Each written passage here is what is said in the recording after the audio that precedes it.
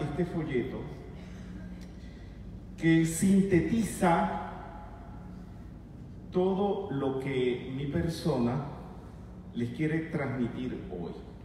No voy a venir desde tan lejos a perder el tiempo con ustedes diciendo tonterías, hablando paja, porque me parece que es una falta de respeto eh, movilizarlo desde sus casas a que vengan a perder el tiempo aquí escuchando sandeces. Y tampoco me vengo a ganar un concurso de belleza.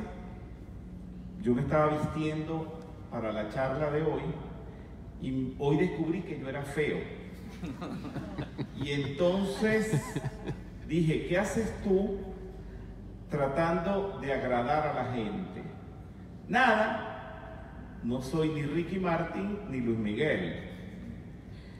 Dios no me hizo así. Pero sí me creo que me dio algo, Dios, que es poderle transmitir algo, algunas informaciones que nos pueden ayudar a vivir mejor. Esto tiene mucha profundidad.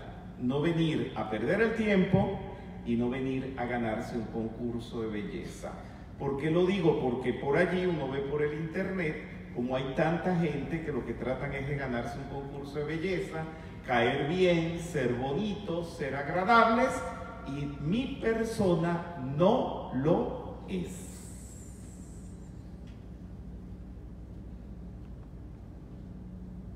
No sé si entendieron. No, no dicen que sí todos. Sí.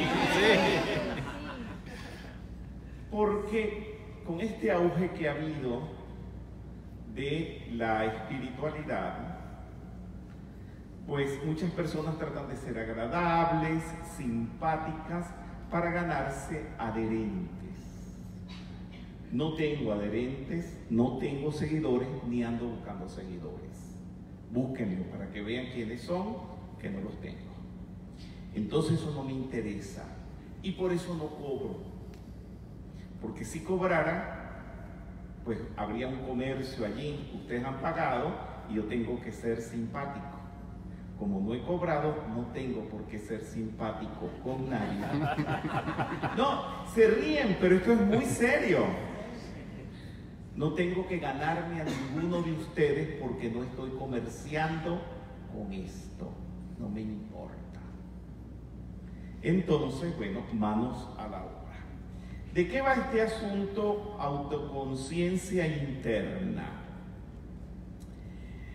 De que cuando estés angustiado, desesperado, traumatizado, quieras luz, quieras espiritualidad, quieras sentirte bien, puedes acudir a este folletito, es chiquitito, son pocas palabras, pero lo importante no es que sea un tratado largo, sino que allí está sintetizado, reunido todo lo que tú necesitas para sentirte bien y hacer contacto con tu ser interno. Hay algo que existe desde hace siglos que son los pasos de la meditación. Esos pasos son muy sencillos y los vamos a decir en castellano porque hay personas que los tienen por allí dicho en sánscrito, pero eso no sirve para nada. Podemos hablar sánscrito, inglés, eh, alemán, cualquier otro idioma para asociarlo a la espiritualidad y eso no sirve para nada. Lo importante es que la gente entienda. Estos pasos de la meditación los enseñó hace muchos siglos atrás un señor, un maestro llamado Patanjali. Ahí está retratado. Pero aún así, cuando él los escribió, ya eran más antiguos todavía. y eran ocho pasos y se llaman los Yoga Sutras de Patanjali. No sé si en la mesa de libros hay Yoga Sutras de Patanjali. ¿Hay? Sí hay. Si alguno de ustedes quiere profundizar un poco más en todo esto, léanselo. Está simplificado, está sin sánscrito para que todo el mundo lo entienda. ¿Qué es lo primero que vas a tener? Una postura. La postura ya la tienes. ¿Cómo están? Sentados. Están sentados. Puede ser acostado, puede ser meditando como un yogi. Eso tú lo escoges como tú quieres. Pero entonces sentado, descrúcense, relájense, pongan su columna vertebral recta. Y el segundo paso es, tuve que inventar una palabra pues la palabra en sánscrito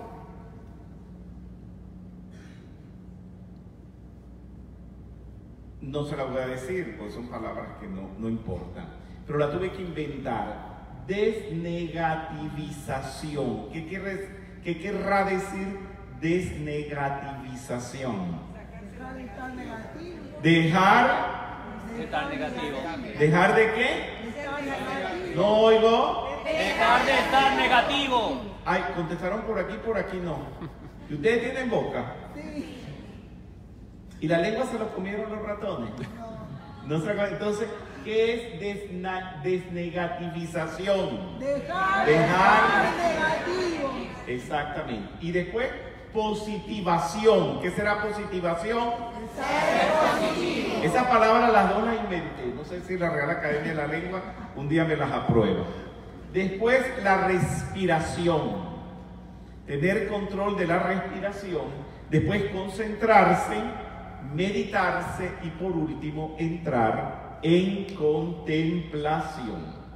Entonces, ¿qué es lo que procura este ejercicio? Que usted haga contacto con su ser interno. Fíjense cómo va el asunto. Mucha gente anda por allí buscando gurús y hay quien los encuentra. No todos los gurús son malos, no todos los gurús son falsos, pero los hay. De haberlos, los hay. Y eso hace mucho daño, generalmente, cuando usted encuentra un gurú falso, cuando usted encuentra un gurú chanta, por decir chantajista, pero el objetivo, aunque usted encuentre un gurú, un maestro, un buen facilitador, es que usted se encuentre a sí mismo. Aquí no se viene a leer cartas, aquí no se viene a, no sé, a adivinar el futuro, no se viene a que alguien rece por ti. Todo lo vas a hacer tú.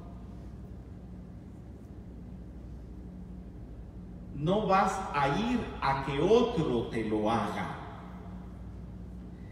¿Por qué? Porque dentro de ti está tu ser interno, que es lo que se le ha llamado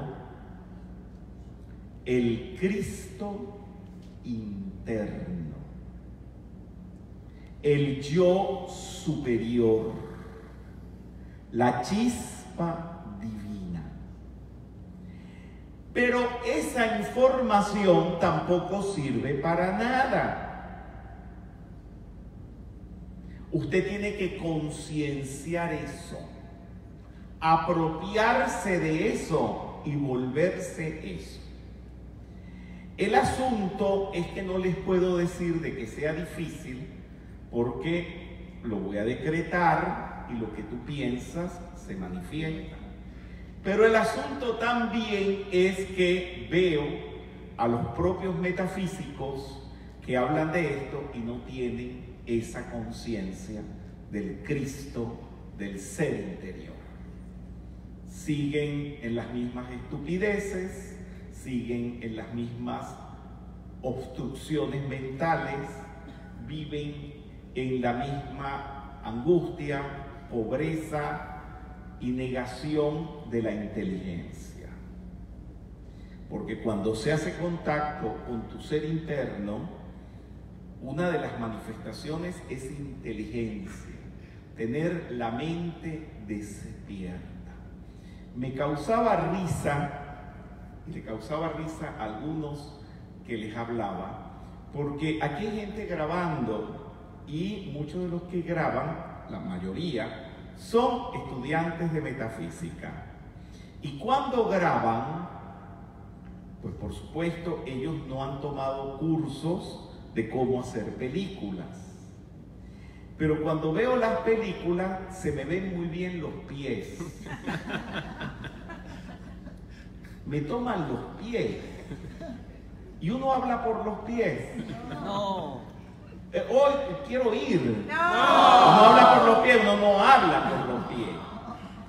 Ahora hay que tomar un curso de cómo hacer películas para decir que si una persona está hablando, le tiene que tomar en la cara. Porque la boca, ¿dónde está? En la cara. ¿La tienen en el ombligo? No. Eso de saber dónde tienen que poner el enfoque de la cámara, ¿qué es? Conciencia. Conciencia, ¿qué más? Inteligencia. Y eso hace falta decirlo. ¿Hace falta decirlo? No. No. Entonces, ¿qué te da esa inteligencia? ¿O qué te la puede dar? ¿Quién? Uno mismo, ¿Ah? uno mismo. Están dormidos, de este lado están dormidos. Digan algo. Digan algo. Algo. Digan algo. ¿Ella? Les cuesta un poquito participar, no sé por qué. Yo ladro, pero no muerdo. Todavía no he mordido al primero. Bien, entonces seguimos. El ser interno es el que te da la inteligencia para aquellas cosas que no es necesario que se te digan. Pero, y no voy a ser exagerado, ese ser interno incluso te puede dar la capacidad de manejar hasta un avión. Es inteligencia. Te puede dar la voluntad y la fuerza para dirigir tu casa hasta un gobierno. Y eso no es una teoría. Lo que les quiero decir es que se lo tomen en serio y se hagan de la idea que eso lo pueden hacer para que lo hagan. Es dejar de ser mediocres, es dejar de ser ignorantes, es dejar de ser odiosos y pasarse al otro lado de la vida de la gente inteligente, capaz, con voluntad, con genialidad. Y todo eso depende es de ti. La gente que no tiene inteligencia, no es capaz, generalmente culpa a los demás. Ay, es que en mi casa no me dieron la oportunidad. Es que el gobierno de mi país no me dio la oportunidad. Mentira. Todos los que han sido, o muchos de los que han sido, han nacido en condiciones no favorables, muchos de ellos, y se han abierto caminos ellos con la fuerza de qué? De su ser interno. De eso es que les estoy hablando. Si aplican lo que les estoy hablando a las necesidades que ustedes tienen en su trabajo, en el hogar, en la religión, en donde quiera que estén, en el arte, en la ciencia, cada uno donde trabaja y donde se mueve, ustedes pueden salir transformados hoy, con nuevas ideas de cómo implementar y cómo salir de la mediocridad. De eso se trata. Muy bien.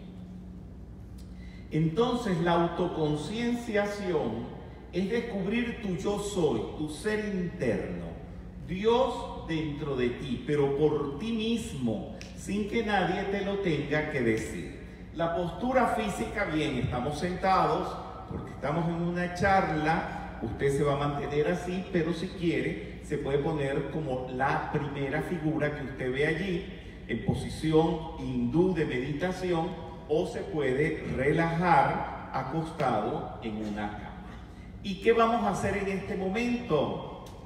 Cierre sus ojos.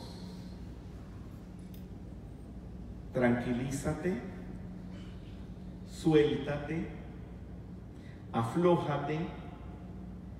Llegó la hora de hacer contacto con el lugar sagrado del Altísimo. ¿Cuál es el lugar sagrado del Altísimo? Dios dentro de ti.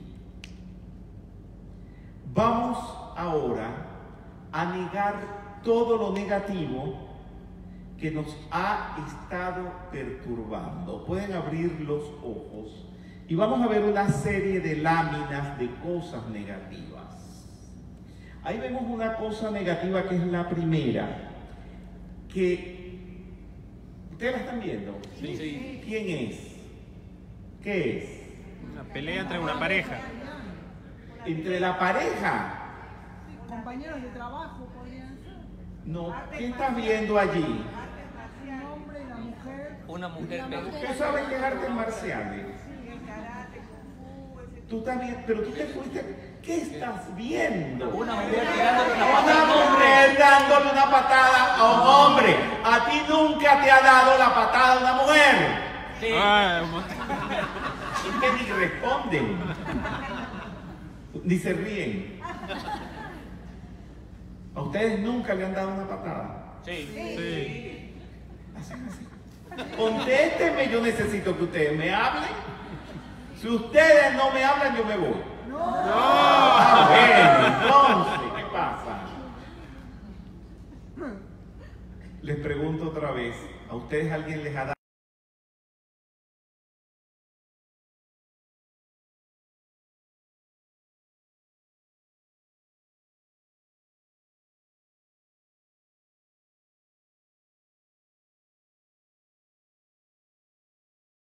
¿Usted ha visto una viuda triste? ¿Ah? ¿Usted ha visto una explosión? Sí. ¿Un terremoto? Sí. ¿Alguien desesperado? Bien, esas son cosas negativas. Pero nosotros no tenemos por qué aceptarlas. Si tú las aceptas, se te manifiestan en tu vida.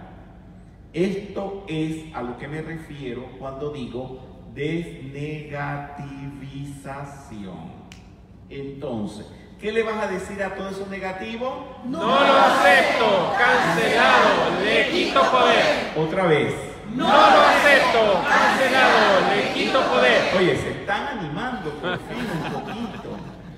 A mí me habían dicho que aquí la gente en Santiago del Estero mucho ánimo, mucho entusiasmo y todo eso, pero vinieron dormidos. Yo necesito que se animen un poco, ¿verdad? Muy bien. Entonces, ¿qué es lo que hay que hacer? Afirmar lo positivo. Porque tu vida va a ser, depende de lo que tú digas, de lo que tú hables, de lo que tú pienses. Entonces, ¿qué le vas a decir a lo positivo? Vamos a hacer esto. Yo soy aceptando la buena voluntad, inteligencia, amor, armonía, belleza, pureza, salud, verdad, paz, opulencia, orden y perdón. Dios lo quiere para mí. Yo lo tengo. Qué bueno. Miren qué pasa. Estos son decretos que están aquí. Pero cuando tú estés haciendo esto, lo puedes ir leyendo, pero también se lo puedes decir a otro que te lo lea para tú poderlo meditar o poner una grabación. Eh, en Buenos Aires, la capital de la Argentina, tenemos unas citas con eh, un estudio de grabación y estoy grabándolos. Eh, para que todo el mundo pueda tener esta grabación, la estoy pagando yo. Para que nadie venga a decir que él la pagó y que la está usando otro. La estoy pagando yo para podérsela regalar a quien pueda reproducirlo y ponerla en manos de todo el mundo. En el caso de Santiago del Estero, Tucumán, Córdoba, ¿a quién se la tendría que dar? Mario. A Mario Aguilera. Muy bien. Pues Mario, es cuestión de que esta noche nos pongamos, ya hice dos grabaciones, el martes hago dos más y no sé si esta va este martes a, grabarse para que ustedes pongan su disquito o lo metan dentro de su equipito de sonido y se acuestan tranquilitos, se relajan y van haciendo todas estas afirmaciones. Gracias, Rubén.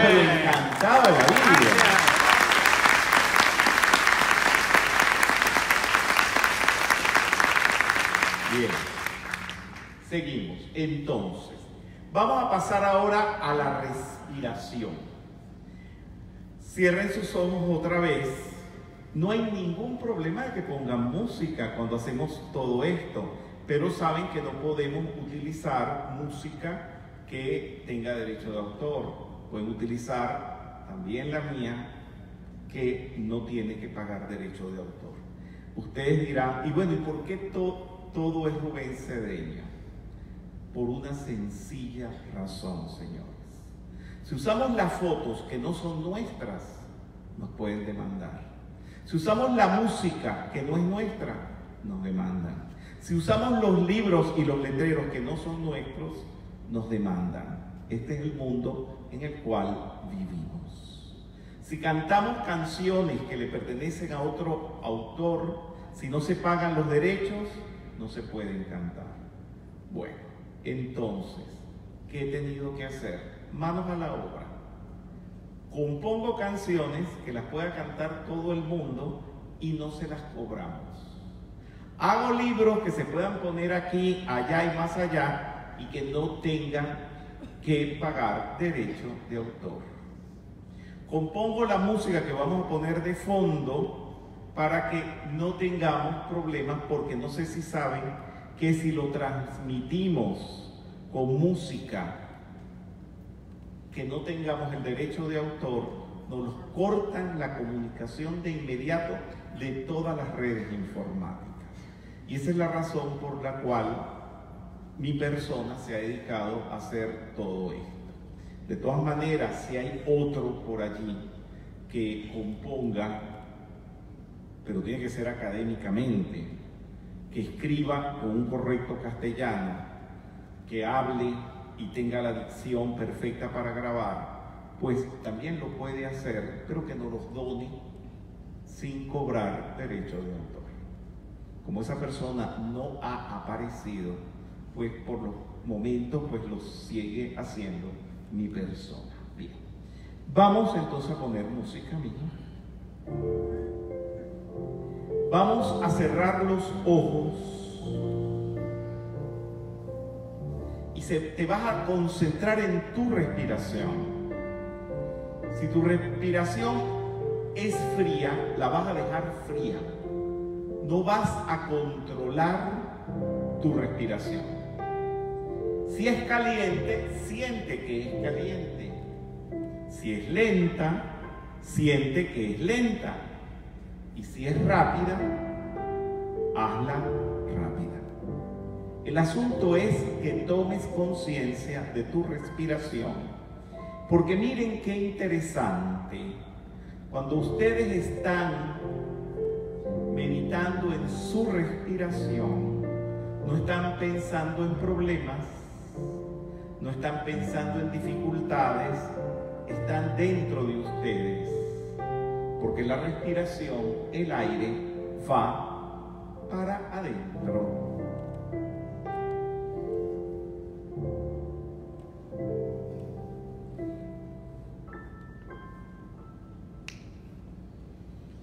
Bien, entonces ahora vamos a traernos de todos los sentidos. ¿Qué quiere decir eso? Que no vamos a mirar para afuera, no vamos a oír para afuera, no vamos a sentir nada para afuera, sino todo para adentro. Cierra tus ojos y vas a concienciar tu envoltura física.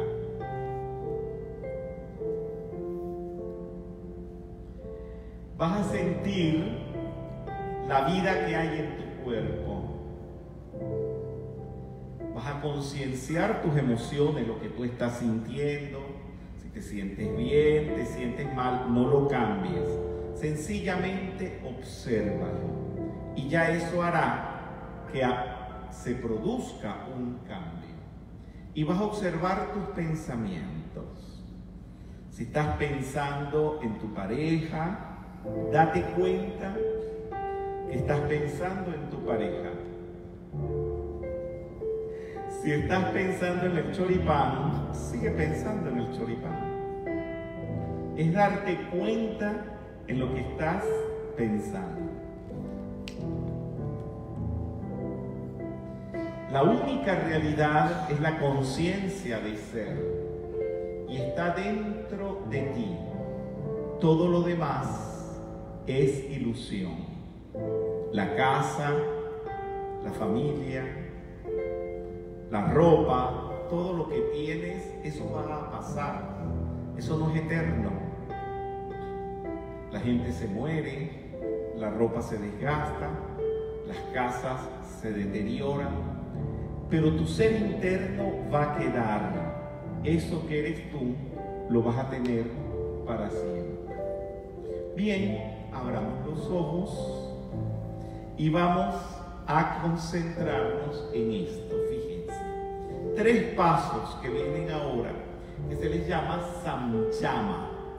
Es una parte de los Yoga Sutras de Patanjali es unir la concentración, la meditación y la contemplación. Hay diferencias en esas tres cosas. Concentrarse es solamente pensar en lo que estás concentrado. Meditar es darte cuenta de qué es eso en lo que estás concentrado. Por ejemplo, si te concentras en Dios, meditar es en Dios, es cómo es Dios, qué hace Dios, quién es Dios. Eso es meditar, darte cuenta, reflexionar sobre lo que es Dios. Y contemplación, muy pocas personas lo hacen o pueden hacerlo, es volverte aquello en lo que estás meditando. Si estás meditando en el amor, ser tú el amor. Si estás concentrado y meditando en el poder, es tener fuerza tú. No esperar que otro haga las cosas por ti. Ese es el último paso y es el más, eh, no voy a decir difícil, pero es el que tenemos que poner un poco más de energía. Entonces, si vamos a hacer el Sanyama, Sanyama son tres pasos. Primero es Concentrando. concentración, después y Meditación. de último Contemplación. entonces, cuando se trata de tu ser interno, Sanyama en el ser interno viene a ser concentrarte en tu propio ser interno, Dios dentro de ti. Meditar es ver cómo es ese Dios dentro de ti, que tiene, cómo lo hace, y contemplar es convertirte en tu ser interno. Bien. Aquí, en el campo de fuerza, que ustedes están viendo, está la lámina de la presencia de lo que tú eres, de tu ser interno. Esa es una fotografía de cómo eres tú por dentro. En la parte de arriba, aquí está tu yo superior. Gracias. Está tu yo superior. Aquí está tu cuerpo físico. Y aquí está tu Cristo. Es el intermediario entre tu yo superior y tu personalidad. Ese intermediario es la conciencia. Eso, velo, imagínalo dentro de ti. Y la contemplación es convertirte tú en eso. De eso se trata esto. Todo lo que les estoy leyendo allí es lo que está aquí escrito, pero convertido en forma de actividad para poderla dar a 500 personas que están aquí. Porque no hay otra manera de hacerlo. ¿Sí? Seguimos. Bien. Entonces vamos a concentrarnos entonces en el ser interno. Vas a mantener tu mente en tu ser interno. Cierren sus ojos e imagínense su ser interno dentro de ustedes. La lámina de la presencia dentro de ustedes. Ya no vas a pensar más ni en la casa, ni en las cosas que tienes que hacer, después de esta actividad, solamente te vas a concentrar en tu ser interno. En eso que te concentras, en eso te conviertes.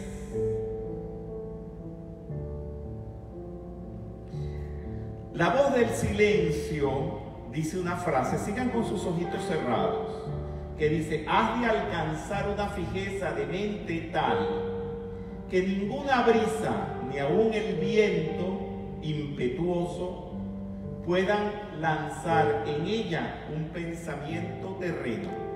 O sea, te vas a concentrar de tal manera en tu ser interno que ni siquiera la brisa ni el viento te pueda sacar de allí.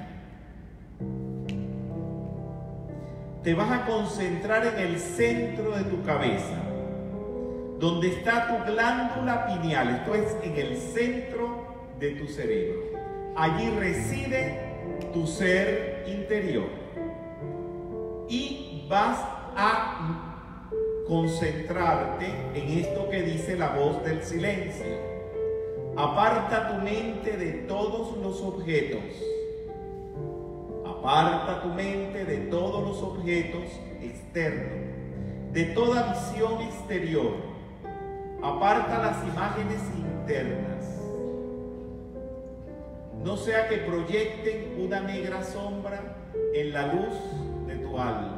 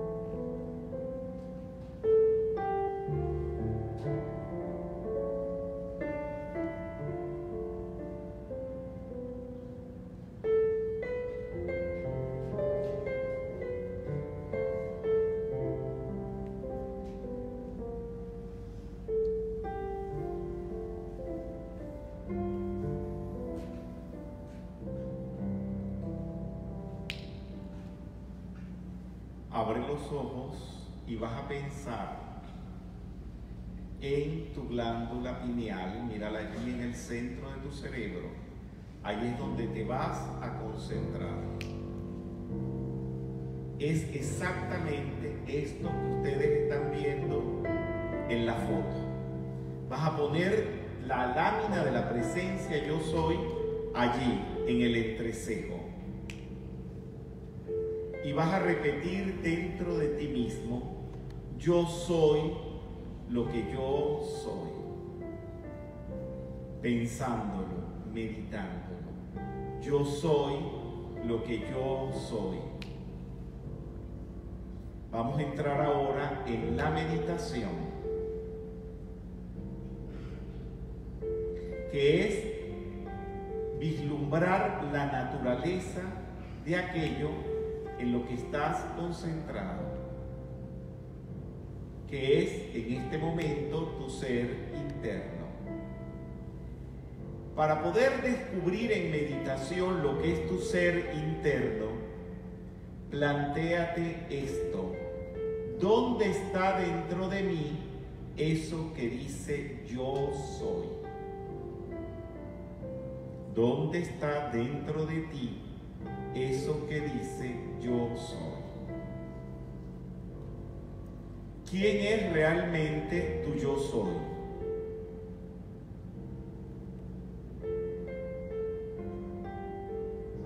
¿Quién es tu yo soy? ¿Quién tú eres? Esto les puede a ustedes tardar toda una vida entender y comprender esto, pero estarán bien encaminados en este propósito. Y vas a hacer esta afirmación dentro de ti. Yo estoy en el lugar sagrado del Altísimo. Repítelo con una voz muy suavecita. Ahora, yo estoy en el lugar sagrado del Altísimo.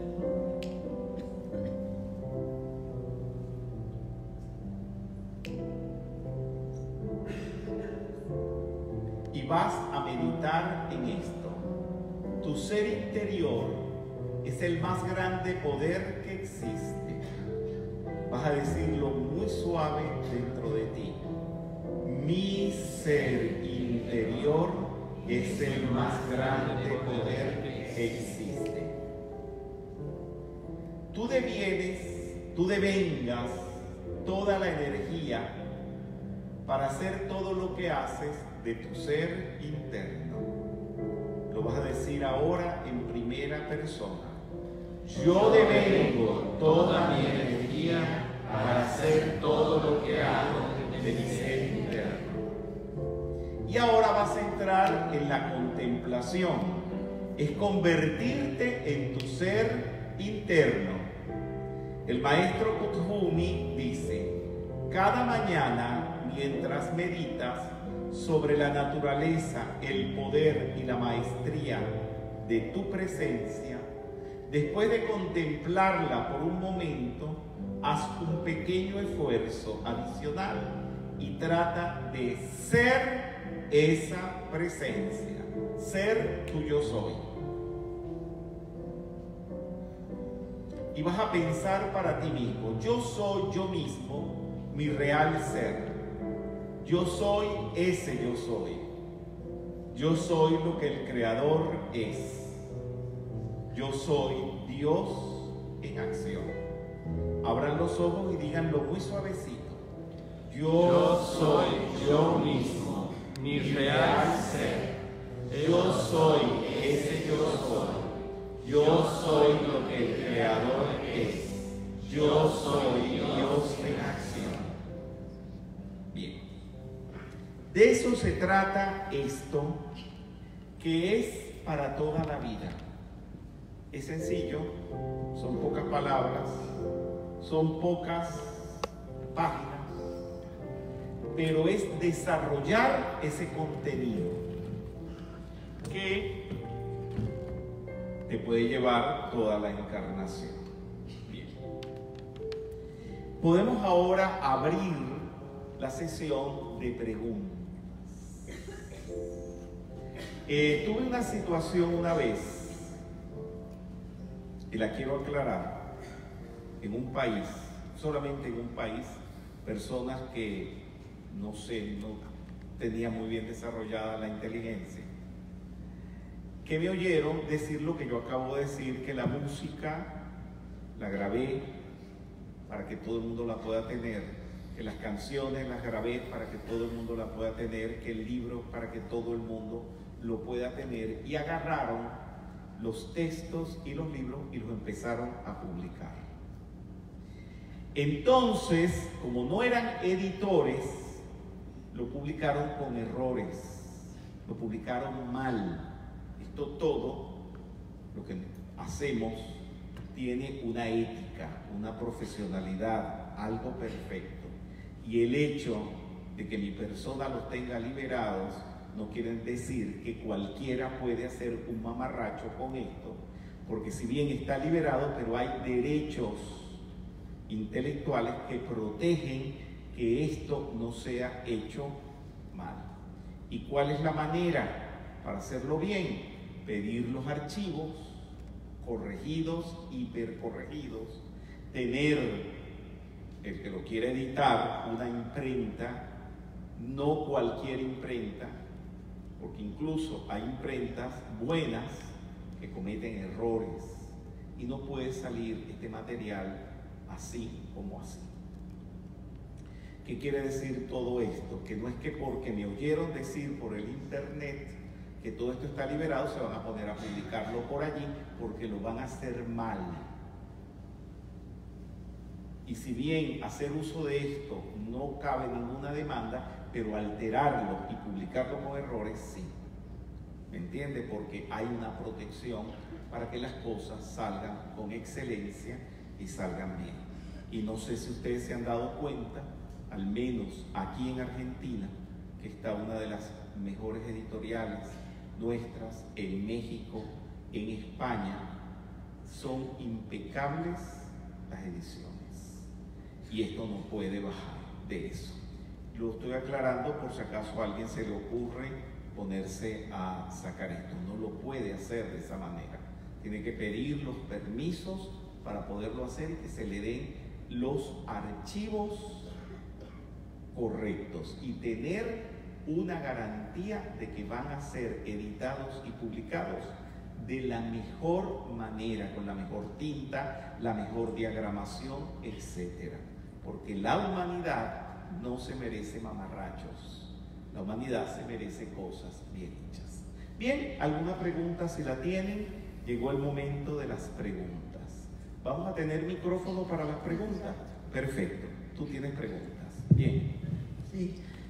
El trabajo de esto está orientado a, al Habla lento porque la reverberancia que hay se confunden las palabras unas con otras. Sí. Este trabajo está orientado a lo propio personal, es para trabajarlo grupalmente, así como lo hicimos hoy en los grupos también.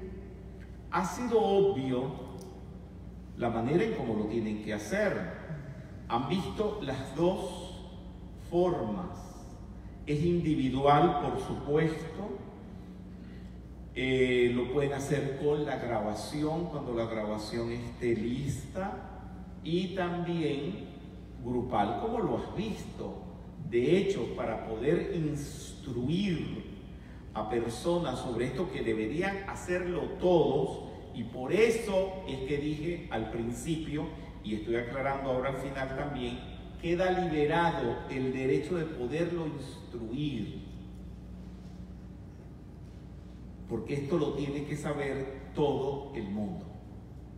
Es más, no dice metafísica, porque realizar el ser no es propiedad de la metafísica.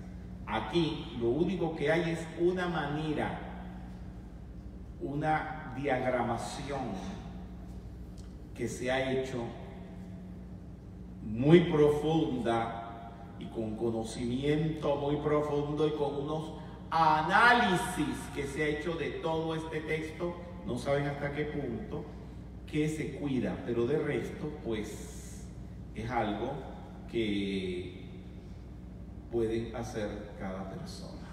¿Alguna pregunta más? Si la hay. Dime, por favor.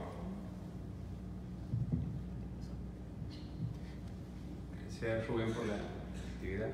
Eh, tengo una, una, duda, cuando uno hace este tipo de... Habla lento porque la reverberancia no permite comprender si se habla un poco rápido. Bien. Gracias.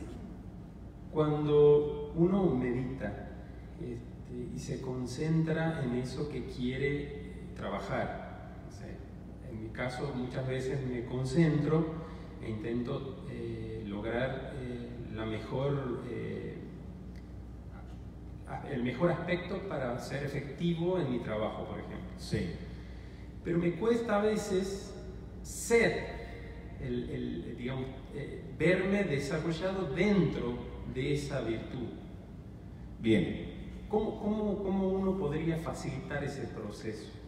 Eso está explicado en una actividad, por no decir una clase, y en un libro que lo tengo escrito. Y lo personifica el maestro, el tibetano, cuando fue a Aryasanga y fue a meditar al Kukutapada. Y después de tres años no encontró resultados en la meditación. En el Kukutapada está mm, Mahakasyapa cuidando las vestiduras del señor Maitreya, que es el Buda actual de la tierra. El otro día fuimos y subimos a lo más alto del Kukutapada, en India. Y allí se fue el maestro el tibetano cuando fue a Aryasanga a meditar. Y viendo que no tenía resultados, decidió irse. Y bajando el Kukutapada,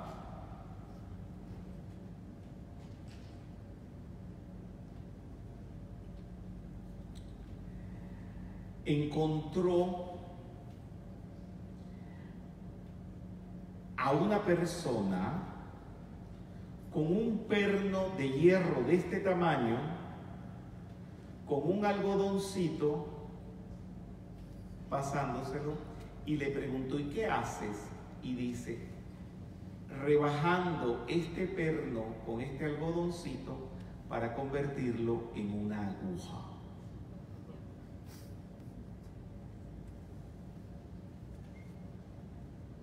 Ahí se dio cuenta que de eso se trataba, de una gran paciencia, tan grande como un perno de hierro de este tamaño, convertirlo en una aguja. Y se empezó a meditar otra vez. A los tres años ya llevaba seis, tres años más ya llevaba seis.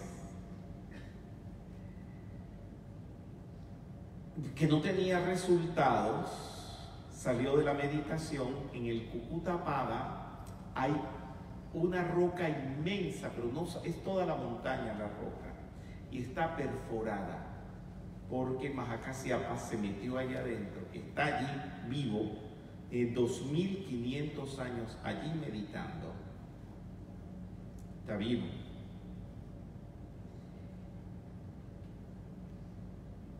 Y se dio cuenta que la erosión de la montaña, ese hueco que hay, inmenso,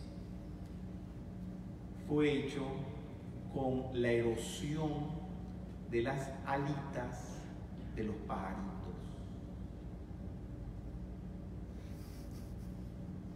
Se volvió a meter en meditación tres años más. A los tres años más, ya llevaba nueve,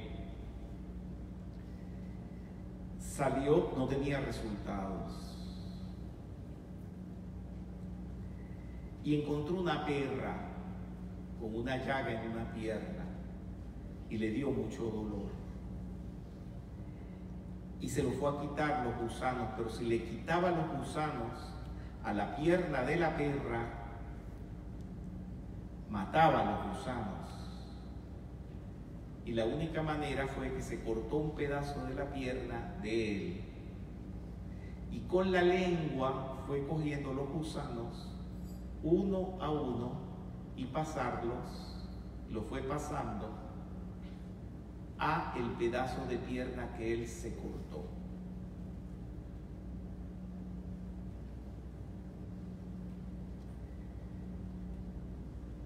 Y se dio cuenta que esa perra era Maitreya. Se convirtió en Maitreya. Y Maitreya le dijo que él quería que todo el pueblo lo conociera. Hay un pueblito allí. Está igualito que hace 2500 años. Y que lo montara en hombro a caballito. Y lo montó a caballito. Y después le preguntó al pueblo si habían visto a Maitreya.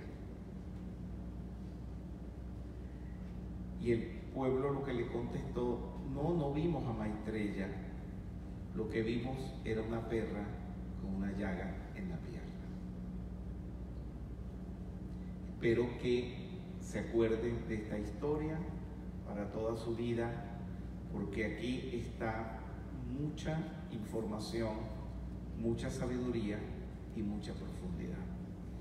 Esto es para que te animes a seguir meditando. Bien, ¿alguna pregunta más? Sí, dígame usted el micrófono.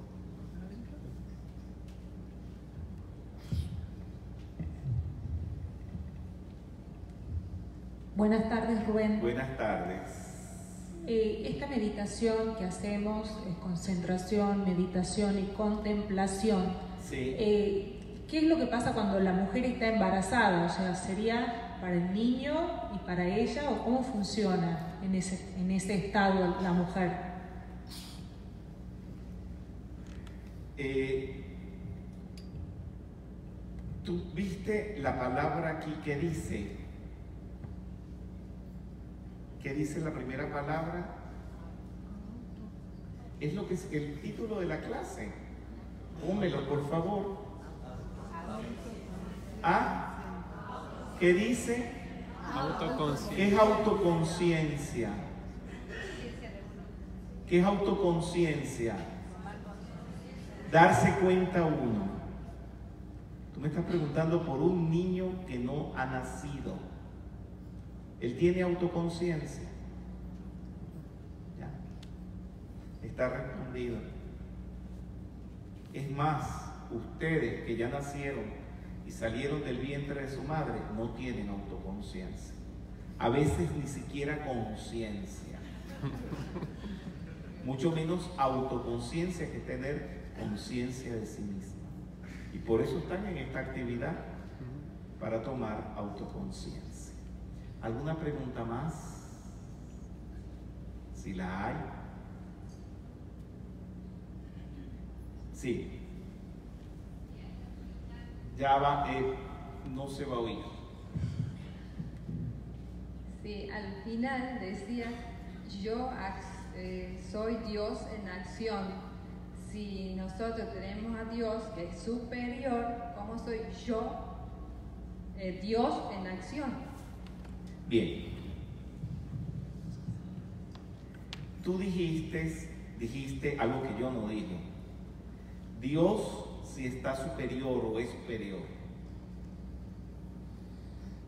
Eso no lo hemos dicho nunca. La Biblia, por decirte algo, está en otros libros. Jesús dice, sois dioses. Cuando dice sois dioses, hay que detenerse un poco y pensar lo que eso quiere decir. Dios todo lo puede. Y si tú eres Dios, también todo lo puedes. Dios es salud, porque Dios no se enferma. Entonces también debería ser salud. Dios es opulencia, no deberías carecer de nada. Esto es autoconciencia también. Es convertirte en eso. De eso se trata la metafísica. De más nada. Que tú tomes conciencia y realices Dios dentro de ti, que se le puede llamar el Cristo, se le puede llamar el ser interno, la chispa divina. Por eso esta actividad, bueno, la grabación la tienen automáticamente. Al terminar la actividad ya la van a tener en el internet para que la repitan muchas, muchas, muchas veces. Gracias. ¿Alguna pregunta más? Bien, si no hay más preguntas, pues gracias.